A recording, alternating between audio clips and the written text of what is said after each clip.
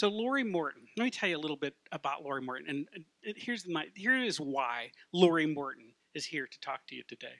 Is because every time I talk to her, she puts a smile on my face. She's had such a great journey. She's done so many cool things, and she just keeps moving the ball forward. And she's built an awesome company. I don't want to tell you about any of that. I'm going to let her tell you about the work that she's done. But she's a super cat, and I want you to give a round of applause, ladies and gentlemen. Lori Morton.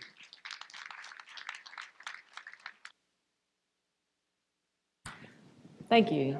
Yeah, I think I've got it. Sounds a little loud. Um, when Phil asked me to speak today, I said, What in the world can I talk about? What would people like to hear? And Phil said, Lori, just tell your story. And I started thinking about that, Phil, and my story and your story really starts out the same. I was born short and bald.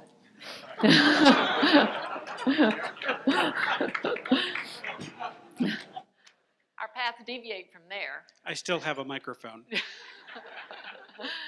now you know how not to get asked back again. Um, I, I wanted to start with a rule to live by. Um, first, a show of hands. Who knows of the golden rule? Tell everyone who knows the golden rule. Raise your hands. Come on. Most people know the golden rule treat others the way you would like to be treated. And it's a sweet rule. We're taught that when we're children in kindergarten or church or our parents.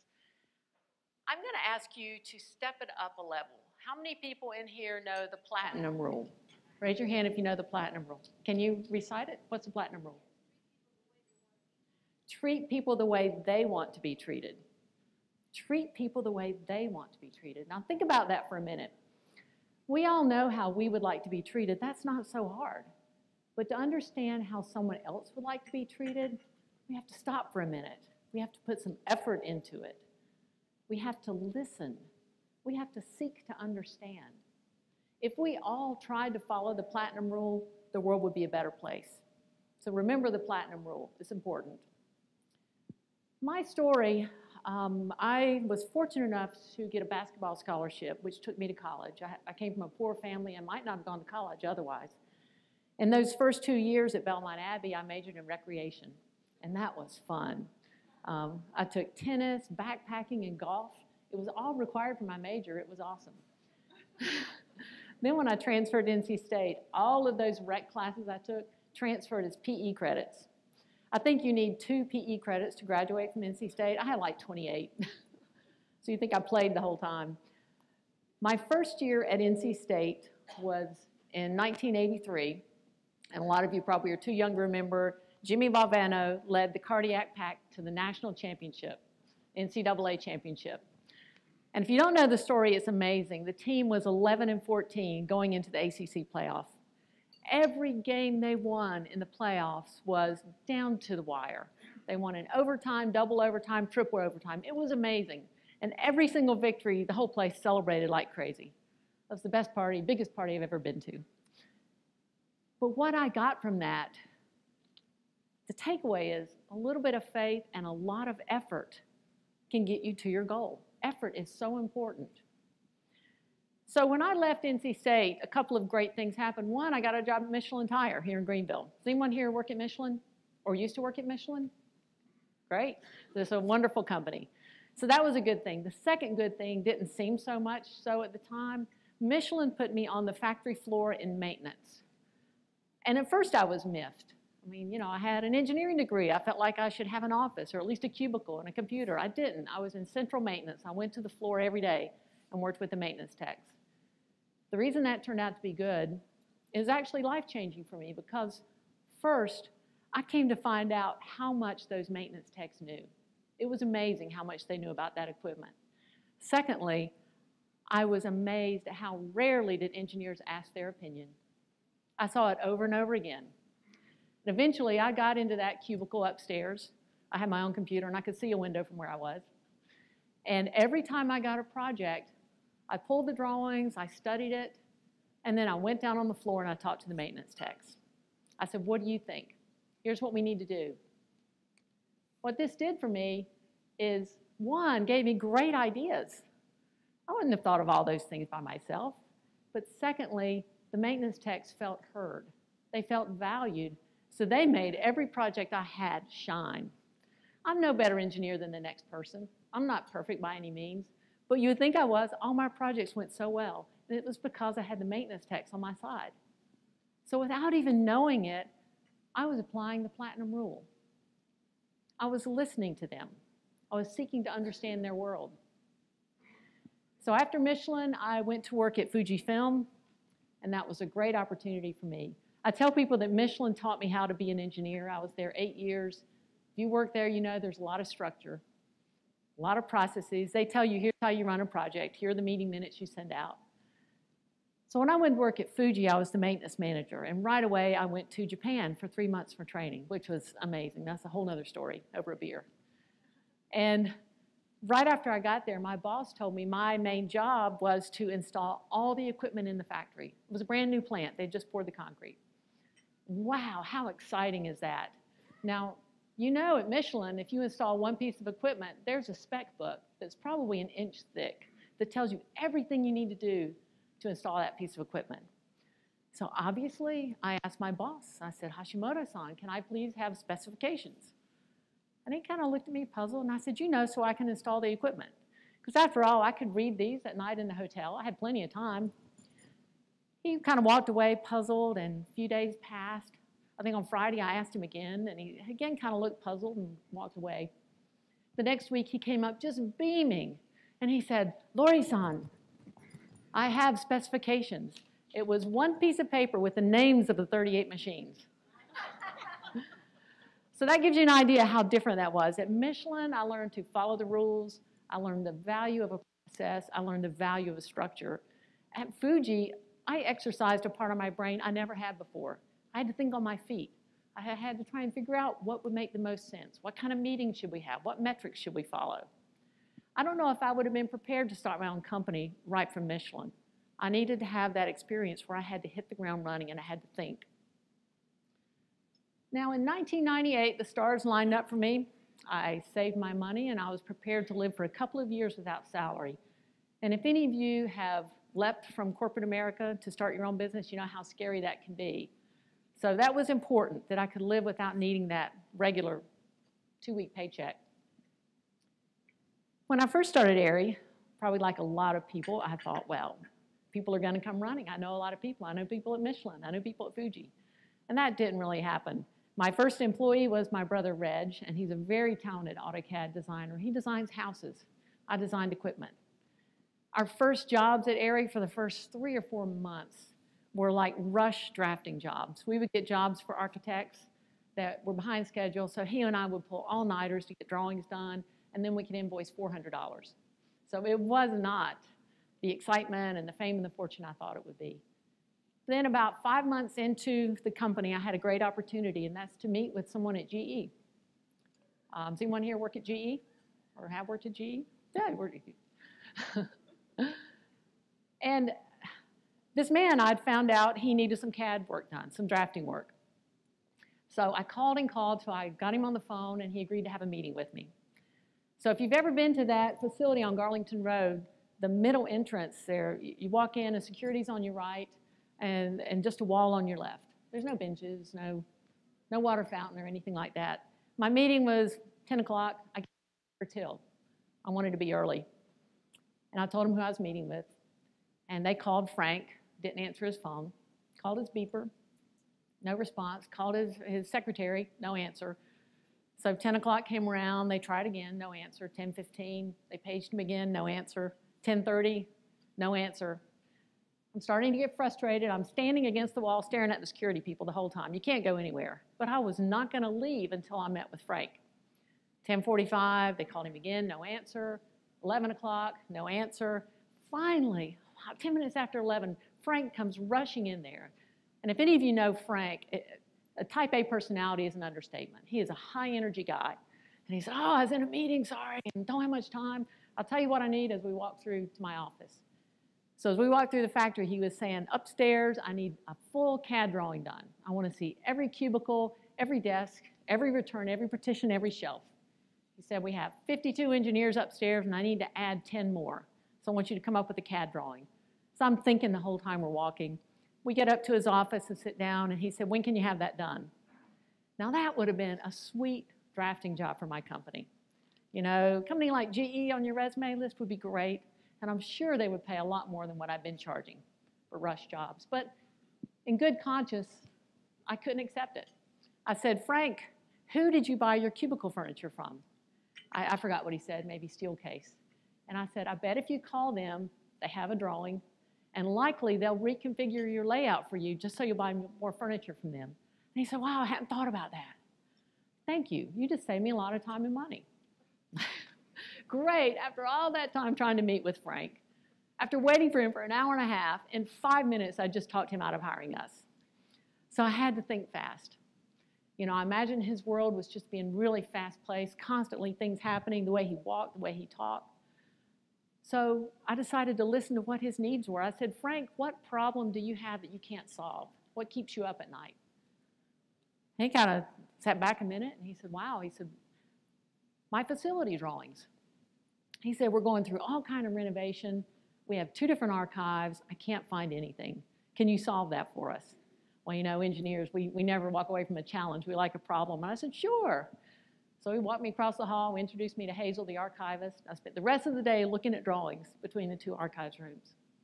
I didn't know how I was going to do it. Um, I've talked to scanning vendors in town. I've learned about file formats and file types and compression and all that. I bought a book, Microsoft Access for Dummies, and I read it. And I put a proposal out there to, to GE. And to me, it could have been $2 million. I think it was like $40,000 proposal. That was huge, huge to me. But that was my best shot at what it would take to get all his drawings in a searchable, organized system. And to my delight, they accepted the proposal. And the project was a huge success. They loved it. The purchasing agent, her husband worked at Alcoa Fujikura. They had drawings. They needed help with their drawings. And word of mouth just spread. And we started to grow. My initial offerings for Aerie engineering was machine design, AutoCAD work, maybe some technical writing. But very quickly, I found out almost everyone struggles with drawings. They struggle with it. I tell people now that we're not a document management company, we're an engineering company. We just happen to be really good at document management. So because of that one incident with Frank, that one time I stopped to listen to what his needs are, it completely directed my company. Now our Document Solutions division is our largest division. We have clients like Greenville Hospital, St. Francis, GE is still a big client, um, Grady Hospital, Atlanta, um, Greenville Schools, Charleston Schools, Richland Schools, Michelin, Robert Bosch, big companies, they need help managing their paper. So that's our future. But I had to listen. I had to put the effort in, I had to understand his world, and I had to listen. That's how the platinum rule can help, you see?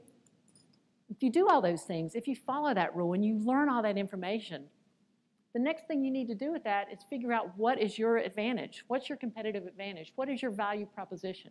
Whether you have your own company or you work for someone else, you still need to know your value proposition.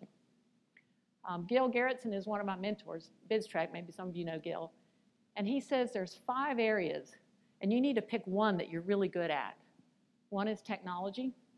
If you have better technology than everybody else, price, are you cheaper than everyone else? Convenience, are you easier to find, easier to use? Quality, is your quality better than everyone else? or service. At Aerie, our competitive advantage is our service. Not only do we have a great software that makes it easy for people to find what they need, but we actually help our customers get all the information into the library because they're too busy. We know enough about their world. We understand their world well enough to know what they need, so we help them. We make their worlds better. In our company, one thing we instituted about a little over a year ago, just to keep service front of mind, because it it's easy to say it, but, but it doesn't always happen. So you need to, need to keep talking about it. We have something called MCC meetings. And those are weekly meetings where we, everyone in the company that's there on that day stands up and it's a 10 or 15 minute meeting. We have a chart on the wall in the middle of the office and we list all of our customers down this chart. And then we have the months of the year going across to the right. Everyone picks a color the first of the year. And each time you have a meaningful customer contact, you put a dot for that customer for that month. We all look at the chart. We go around the room. Everyone has a chance to say something about a meaningful customer contact. Book, our bookkeeper gets excited when she gets checks. She'll say, that's meaningful. And we all decide which, which contacts are meaningful. Is it a phone call? Is it an email that was answered? Did we bump into them at the Clemson football game? And they said, hey, you did great, whatever. And then we look at this chart and we look for white spaces. Where we have white spaces, we have a problem. That means we're not reaching out to our customer. Are we really bringing them the right value? Are we really being service oriented if we're not touching them in any way? We had one customer last year that was particularly prickly, kind of hard to reach and touch.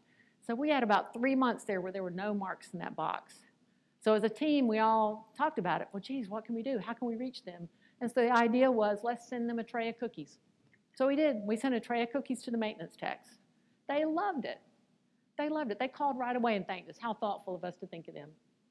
So if that's your angle, make sure you practice it. You have to make it part of your culture. I have people ask me often about what it's like to run a business. Who in here has their own business? Wow, a lot of people. And if you started from scratch, then this may sound familiar to you. I think there are a lot of analogies between running a business and raising a child.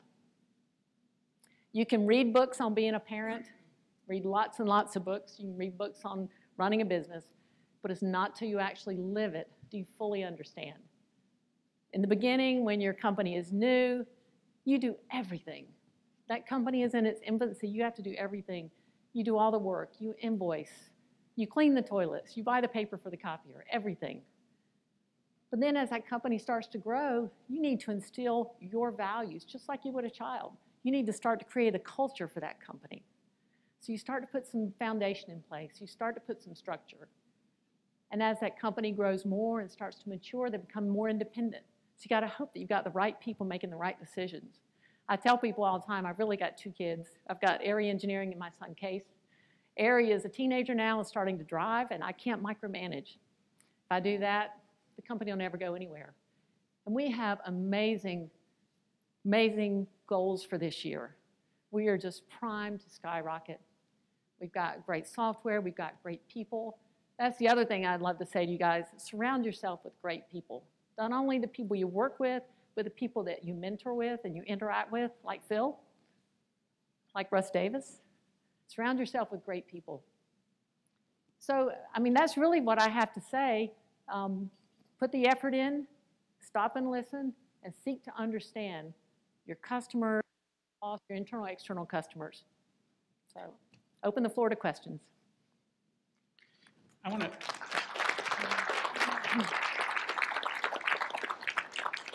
You have a great story about how contact, repeated practice makes you get to a place. I'd love for you to tell that tale. Oh, which story? I can't remember. The basketball. Oh. Um, okay, when, when I was a kid, like a lot of kids, I ran around and rode bikes and climbed trees and that kind of thing. And in seventh grade, they had basketball tryouts. I'd never played basketball, but it sure looked like fun. So I decided to try out for the team. Somehow I made the team. I was the 12th girl they kept on the seventh grade team, and I was third string. So I never played the entire year. Wasn't any good, but I liked it. So when eighth grade rolled around, I decided to try out again. I made the team again, third string. The entire year, I scored one basket. I had two points the entire year. At the end of the eighth grade year, I was really discouraged because I decided I liked basketball. So ninth grade, I decided I was going to try really hard. So I tried out for the team in ninth grade. I made the team, third string again. Halfway through the season, the first string girl got a D in math, so I bumped up the second string. so luck helps. The entire year, I scored a total of 13 points.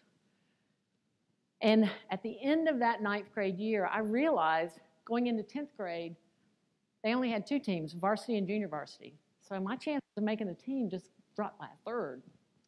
And I really liked the game. I mean, I, I think I loved it. I loved this game. Why wouldn't they let me play more? Why couldn't I be better?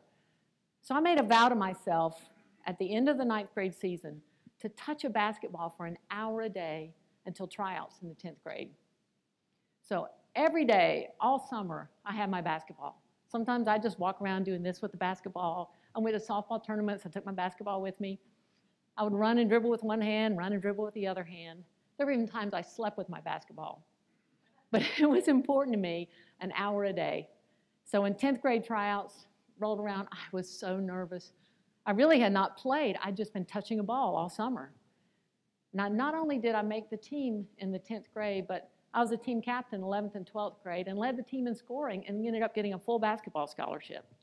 So the reason I tell that story, I, I tell, told it when I gave the commencement address, it's sometimes not enough to love something. It's sometimes not enough to want it really, really badly. You have to work at it. So if you pick something that you love, that you want, the next thing is start working at it. I think if you put an hour a day into it, you can hit your goal. Oh Thanks. And it's open to questions.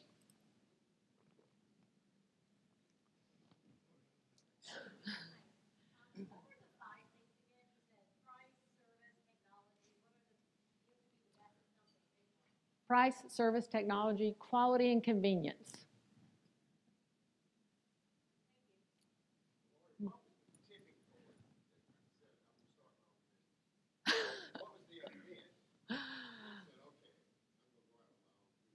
Um, my best friend from college was running a marathon in Alaska, and she asked me to go with her. And so I went to my boss and I said, Hashimoto-san, I would like to take a week vacation. And he said, Ah, Lori-san, I think maybe you're too important to be gone. I think maybe no. yeah, and that did it. I was this close already, but I was not that important. I ended up getting a job in Alaska and staying for the whole summer, so it was, it was a great call. I almost never came back. Talk about corporate culture for a moment. You know, you grew a company. How do you infuse that enthusiasm and passion that you had and the willingness to reach, you know, into the organizations and, you know, really do that discovery? How, how do you infuse that in your company? That's an excellent question. Repeat it. How do you infuse culture, aka your vision, your values, into the company? Culture trumps everything. I don't care how many procedures you have in place, how much you talk about it, culture trumps everything. So, establishing that culture is so important. A couple of things we do if we get into a situation and we're going to deliver something and it's not the right thing for our customer, or if we have to go back and redo work, I tell our folks we'll lose money to do the right thing for the customer. I honestly believe if we do the right thing for the customer, it's going to pay off in the end. So you can't be short sighted enough to look at each little step. You've got to look at the big picture. Another thing that's important is um, mistakes. See, I happen to think that uh, it takes a good seven years before you reach a steady state with your company. And that's not really anything to do with how smart you are or your ideas. It has to do with the fact that you have to make enough mistakes to figure out your path. So at Aerie, we actually we don't get upset when people make mistakes because everyone makes mistakes. If no one, if you're not making mistakes, you're not trying to do things. You're not trying to innovate. So people don't get in trouble for making mistakes. When a mistake happens, me, someone else, what we do in our weekly team meeting, we talk about it. Oh, this happened. We dropped the ball. The customer called. This happened. How can we make sure we don't do that again? So we create a culture where it's okay to make mistakes, that people don't get worried or scared or, or hide from it. So almost celebrating those mistakes. I think to instill the culture and the values you want, you have to talk about it a lot. So you bring it up often. Here's what we're doing and why. The customer is important to us. We need to understand what they're doing, why they need our help. And I think trying to emulate those values is really important. Um, I've heard it called the shadow of the leader, but if I say, you know, top quality, but then I don't do top quality, then that's huge. So you have to speak it often and you have to do it.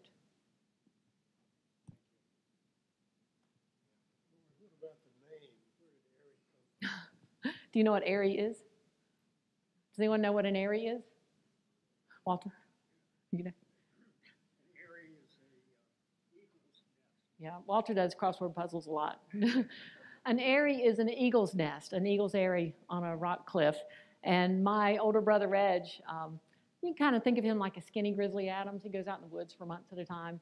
And he had a vision one time. He was soaring with eagles. That became his spirit, his totem. And he came up with the name Aerie when he and I were talking about building houses. Back when I was still at Fuji, he and I were going to create a company building houses. And we thought, Aerie Designs, how cool, a nest, you know, design. So when rubber hit the road and I went to Alaska and I had to start this business, I needed a name. And I thought Aerie Engineering kind of had a nice ring to it. The only problem is people can't spell it. but now you know if you do crossword puzzles, it'll come up every now and then.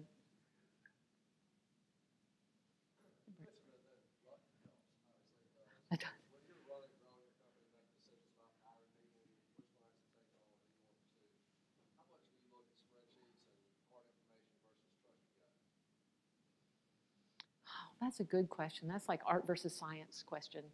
Um, I think you need both. I think if you trust one exclusively, then you'll get yourself in trouble. Um, I think in the beginning it was more gut, it was more art. That's what I felt we should do. Um, as our company grows and matures, now we have a CFO on board, and he gives me tons of great data. So now I might lean towards my gut, then I get numbers from him. So it's definitely a combination. At different points in the life of Aerie, it swayed a little bit. And there have been a few times I trusted my gut and it wasn't the right thing. So I don't think there's a real clear answer other than you need both half of your brains engaging. question about, I read on your um, website on the knowledge management tools you have, but I wanted to ask, being an engineer, what is your opinion about knowledge tools or knowledge management tools as being a tool or as a part, like the the keystone to your culture as an engineering company, because all you have is knowledge. So I, I also think that they're using tools for what should basically be the, the base of, of the strategy. The tools, the tools kind of get you started. The tools give you a guideline. Um, there's three things my company does. One is the document management piece that I've mostly talked about. The second is machine design. But the third piece is knowledge management, and, and that's pretty exciting stuff. We help companies understand what it is that they have that's not well documented, what's in people's heads. Um, we help them understand where they're at risk. So we've developed some tools to help them do that, some prioritization tools, um, some templates that you use when you try and gather that data. Now, tools by themselves don't do much. Um, so much of it is culture. We go into some companies and they have a culture of not sharing because of job security. And when we run into those cultures, it's much harder. You know, no matter what tool you had, like I said, culture is going to trump. So you really need both. You need to create a culture in your company where it's okay to share information. And then once you have that culture, you need some vehicle, some way of, of gathering it, extracting it, and creating that standard, like what Michelin is so good at. So it really takes both. I'm not sure if I answered your question. Okay.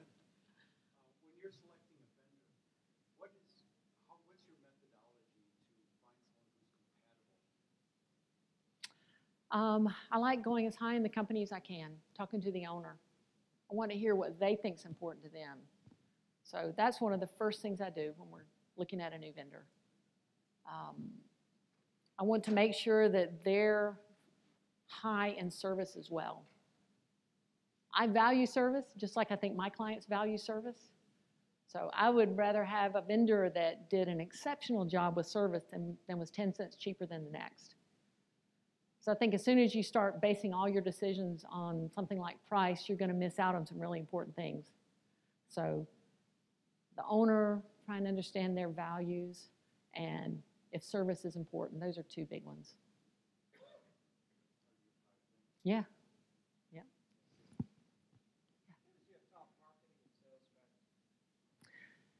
We find that the genre clients that need us most are hospitals. So our strategy is to meet our clients where they hang out, like at um, they have there's hospital association for engineers, hospital engineer conferences. So we go to those a lot, um, and we find that the higher up in the organization we go, the more they value what we have to offer. So the V level, the C level, is where we start.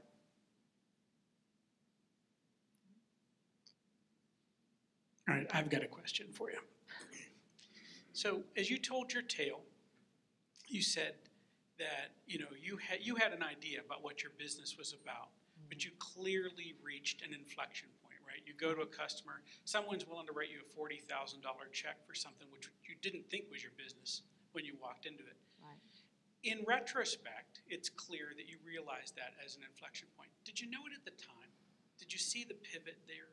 No, I didn't. I just saw an opportunity to do something cool, something I hadn't done before.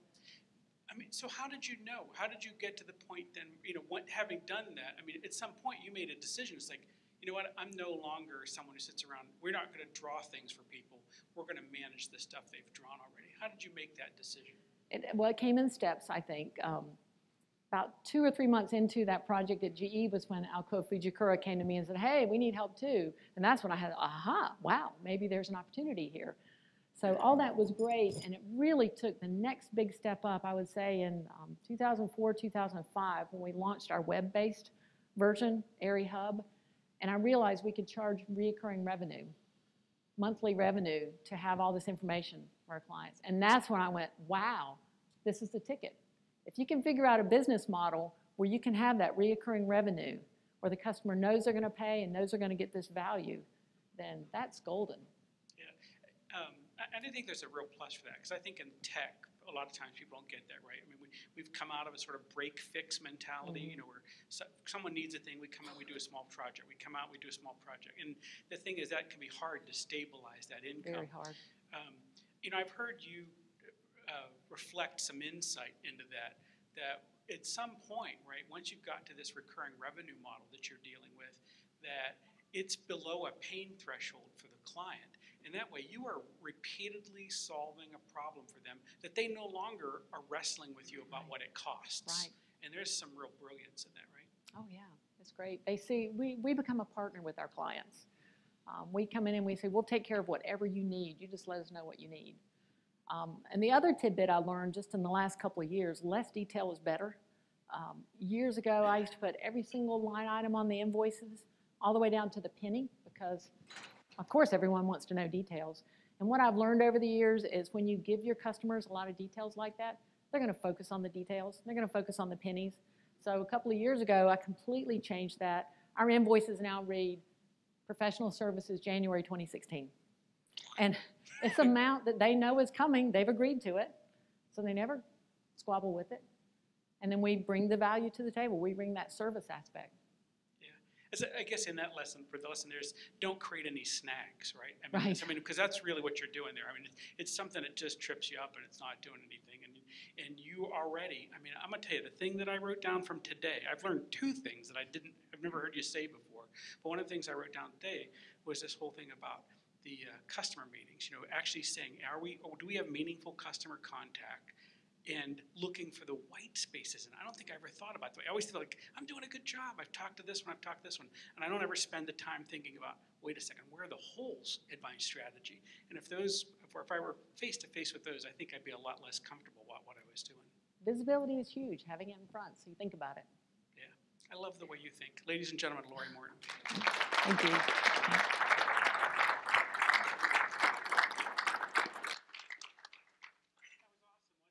I'm sorry. I've just used the microphone, aren't I? That was awesome, wasn't it? One, yeah, I know. One more time for Lori Morton. I'm delighted to call her friend. And with that, I think it would be entirely appropriate for you to come up here, shake her hand. I'm going to tell you, we didn't write her a check, so you can come up at least say thank you, right? And be nice to her. And uh, I'll tell you what, we're doing Tech After Five tonight. If that's your kind of thing, let me buy you a beer. We'll see you tonight. And we'll see you here next month. Thanks a lot.